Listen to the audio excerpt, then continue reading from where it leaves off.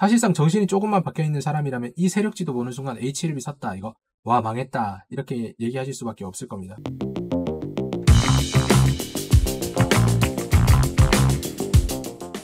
안녕하세요 주식 후견인 문견우입니다. 네, 여러분들 이거 카나리오 바이오랑 HLB랑 세력 지도에 있는 종목인데 바이오임에도 불구하고 이상하게 진행을 하는 부분이 많다라고 말씀을 드렸었죠. 특히나 이 임삼 상상을 이제 발표를 하면서 여러분들에게 희망 고문을 하는 게 아닌가라는 생각이 많이 들어요. 자, HLB 오늘 뭐 상승폭이 좀 좋았습니다. 전일자도 그렇고 한동안 상승폭이 좀 좋았죠. 그렇지만 뭐 별다른 내용은 없었다. 시가총액이 5조 6천억 원. 그런데 이거 매출액 보세요. 매출액 보시면 엉망이죠. 엉망에다가 곧 회사가 엎어져도 이상하지 않을 정도의 회사이다. 그리고 지분 보시면 아시겠지만 여기에 나와 있는 거 10%도 채 되지 않는 유통 주식 수를 가지고 있다. 뭐 유상증자 엄청나게 하고 무상증자하고 뭐 여러 가지 계속 때리니까 최대 주주가 보유 지분이 낮아질 수밖에 없다. 그런데 정말 좋은 회사라면은 이 최대 주주의 보유 지분이 이거밖에 안 될까요? 그렇지 않겠죠. 재밌는 건 이런 겁니다. HLB가 제약회사임에도 불구하고 법학과를 졸업을 하고 은행을 하셨다가 회사 후 호프집을 차렸다가 망한 사업가가 제약회사의 CEO로 있다. 이건 사실상 뭔가 말이 좀 맞지가 않죠, 그죠? 이런 부분을 가지고 있는 사람이 제약을 하겠다. 이 검증이 가능한가요? 뭐 아무리 연구진들이 제약만 한다고 하더라도. 그래서 이렇게 보면은 임원진들 중에 사실상 뭐 연구에 관련된 사람은 크게 없는 걸로 볼 수가 있습니다. 여기 장인근 씨 한 분 계시고요. 그 다음에 뭐 다른 쪽 보면은 뭐 대표이사들 뭐 이런 것들은 되게 많은데 관련 경력이 별로 없어요. 다른 회사 같은 경우에는 제약회사면은 임원들 자체가 뭐 의학 박사, 약학 박사 이런 분들이 많다라고 말씀을 드렸죠. 그래서 아 요거는 뭐 삼성이 될지 안 될지 잘은 모르겠지만 어쨌든 간에 부강약품이나 이런 데에다가 이제 그 저거를 주고 하는 거니까 뭐 거기서 연구진들이 하니까 뭐 실제만 되면은 우리에게 지적재산권이 있어 이렇게 우길 수도 있긴 하겠지만 그게 된다라고 안 된다라고 어떻게 알겠습니까 우리가 그죠? 그리고 뭐 돈이 있어야 되는데 여기도 돈이 지금 많이 줄어든 모습 보일 수가 있고요. 보시면은 증권 발행 요거 보세요. 아직까지 전환하지 않은 게 무려 1100억 1200억 정도가 있어요. 근데 이런 회사에 투자를 하게 된다. 지금 보시면은 행사할 수 있는 기간이 이미 지났죠. 그죠? 이런 것도 다 지났는데 가격 보세요. 가격 보시면은 3만 원대. 지금 주가 뛰었으니까 이거 행사하고 팔아먹어도 전혀 이상하지가 않죠. 그럼 뭐 어쨌든 주주들은 상당히 나쁜 그런 상황이 오는 거다. 그리고 사모자금의 사용 내역 보세요. 연구하라고 돈을 밀어내줬더니 사업체의 지분 취득에다가 엄청나게 많은 돈을 쓰고 있습니다. 이게 뭐 하는 짓일까요? 제약회사면 제약에 힘을 써야 되는 건데 오히려 사세를 갖다가 엄청나게 늘리는 그런 상황이 되어 있죠.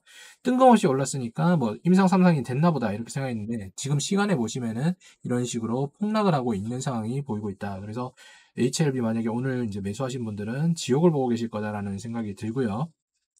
사실상 정신이 조금만 박혀 있는 사람이라면 이 세력지도 보는 순간 HLB 샀다 이거 와 망했다 이렇게 얘기하실 수밖에 없을 겁니다. 그리고 사실 뭐 법대생이 이 제약회사의 대표 이사라는 것 자체가 의문점을 가질 수밖에 없는 거겠죠.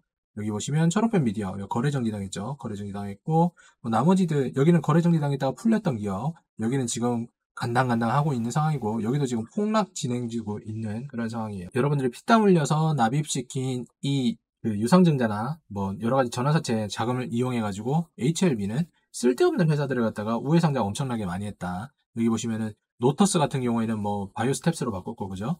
뭐 반도체 회사를 갖다가 또 인수해서 이노베이션을 하고 바이오 전자 회사를 갖다 바이오로 바꾸고 미디어 유통 회사를 갖다가 뭐 다른 쪽으로 바꾸고 뭐 이런 식으로 말도 안 되는 거 엄청나게 한 거예요.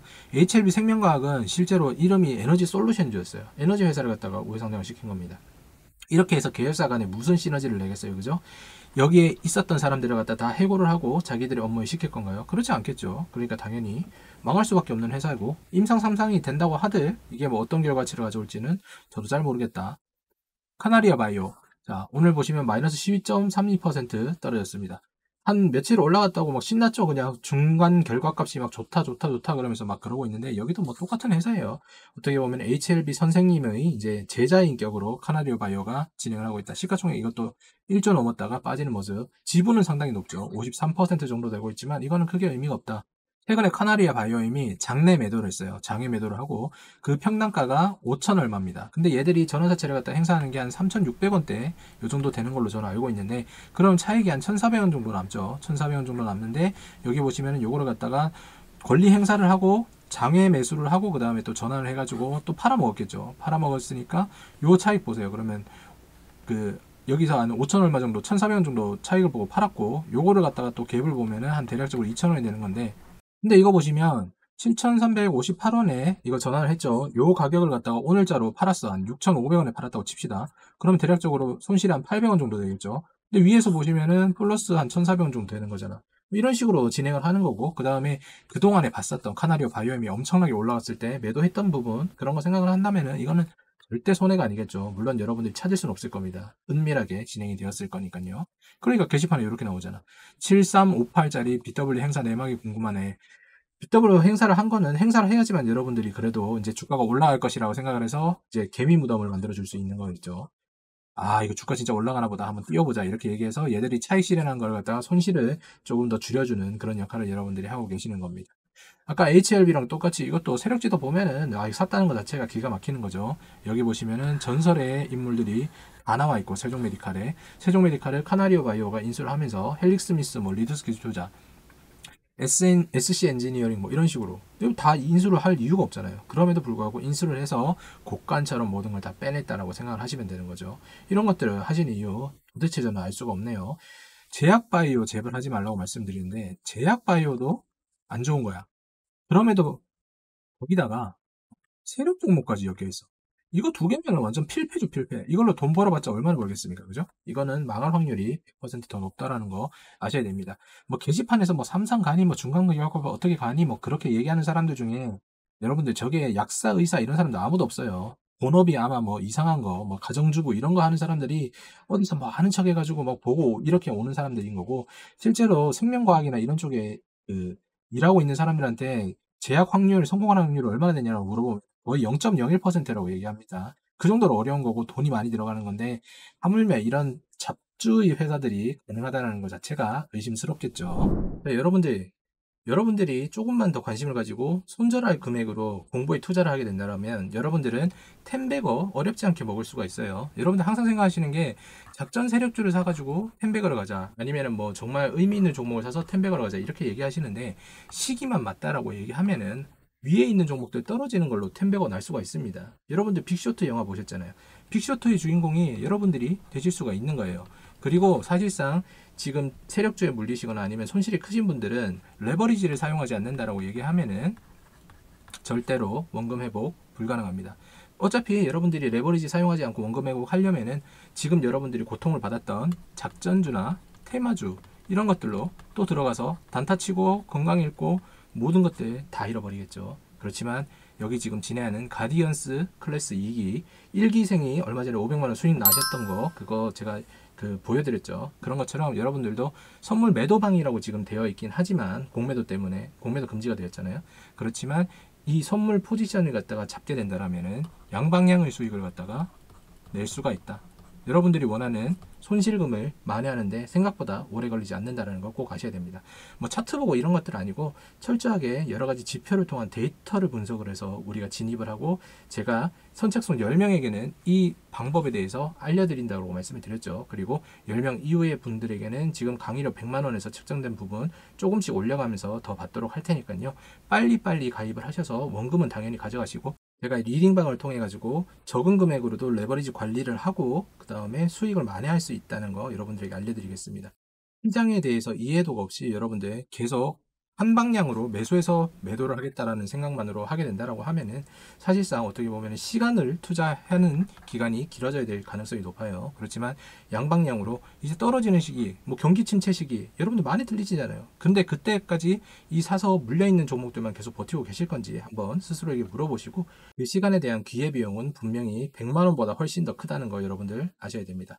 진짜 저렴한 가격이고 제가 모든 걸 넣어서 맞는 강의이기 때문에 여러분들 절대 후회하지 않으시라는 거 아시고요. 차후에 이렇게 가디언즈 클래스 1기, 2기 들어오신 분들은 3기, 4기, 5기 업데이트되는 영상에서도 무료로 재수강을 하실 수가 있으니까요. 염려 마시고 언제든지 신청 주시기 바랍니다. 온오프라인으로 진행이 되기 때문에 여러분들 뭐 참석하기 힘드신 분들은 영상으로 충분히 공부를 하실 수 있도록 제작하도록 하겠습니다. 차트 한번 보도록 할게요.